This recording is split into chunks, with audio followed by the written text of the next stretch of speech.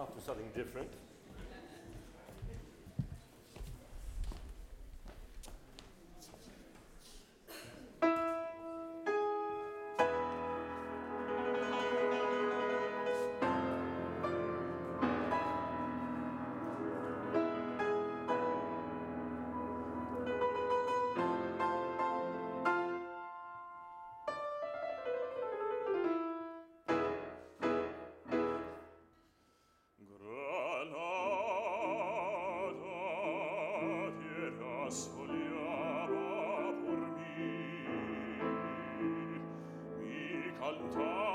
se vuelve gitano cuando es para ti. Mi cantar hecho de fantasía.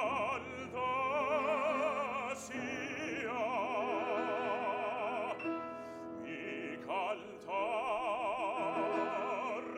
flor de melancolía, que yo te veo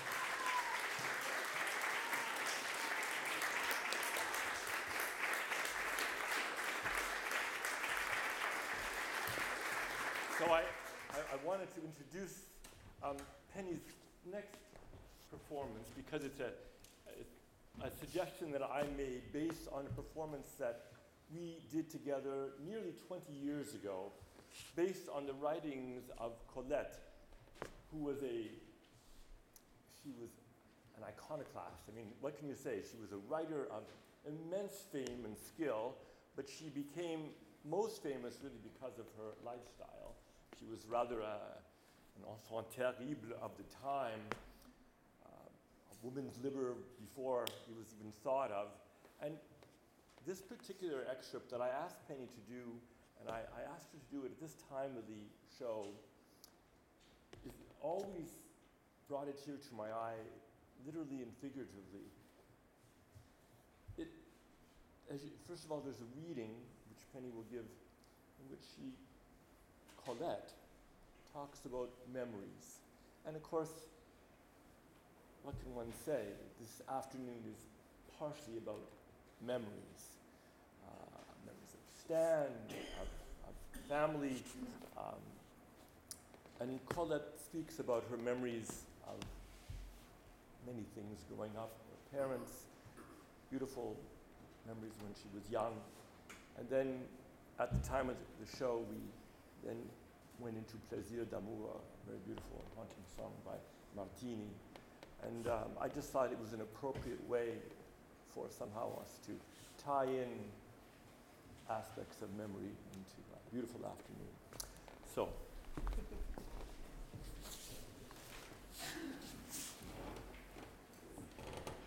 Ask me to tell you the shape and tint of every separate leaf of those brown wallflowers that the frost and snow preserved every winter in the garden.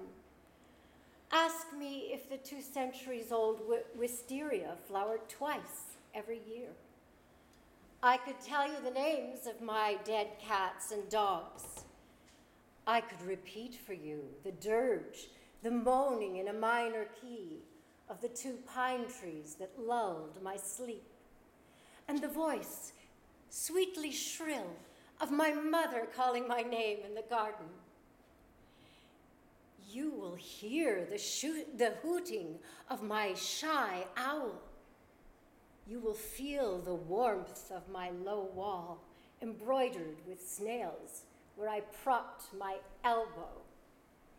You will warm your arms folded one upon the other, and quick, shut your hand quickly on the dry, hot, tense little lizard. Ha You shuddered. So, you were caught up in my dream. Pray, give me some soft pastel crayons of colors as yet without names. Give me sparkling powders and a fairy brush and. Well, no.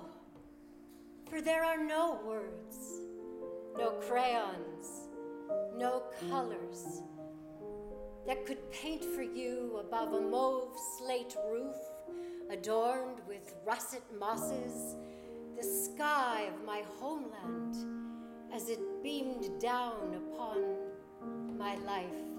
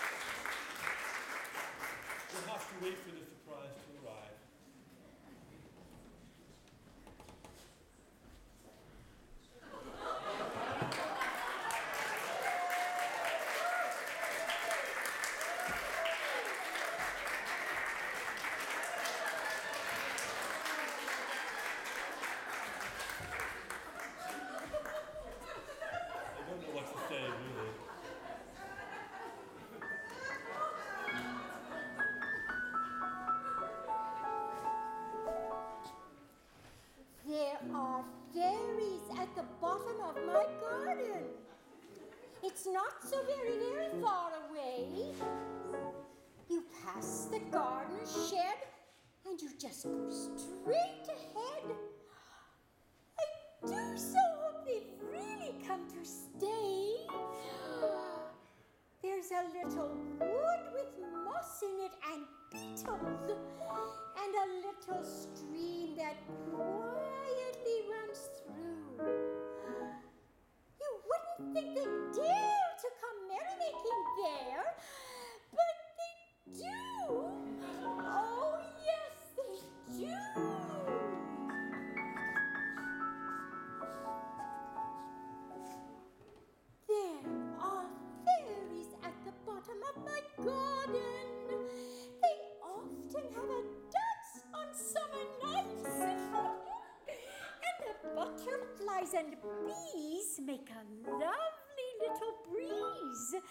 the rabbits stand about and hold the lights.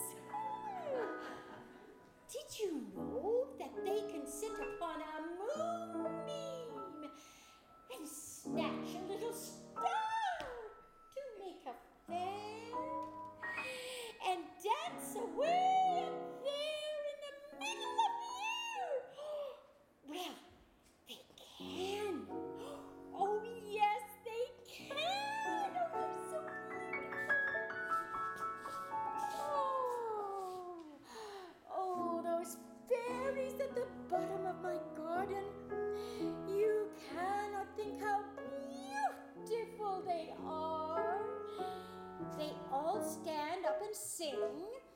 when the fairy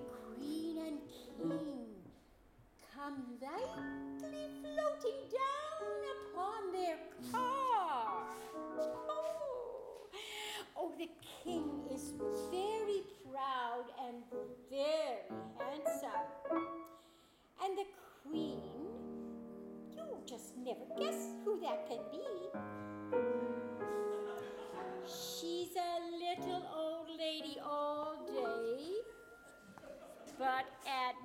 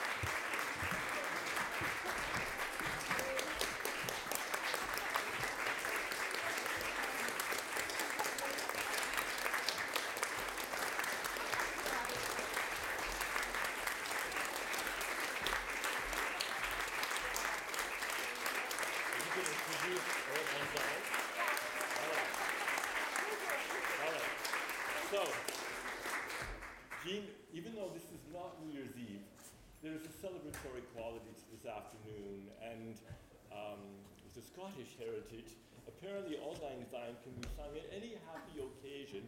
And Jean said, we must sing Auld Lang Syne together. Yes, and then there, there partying. There's free champagne and free CDs and food and party time.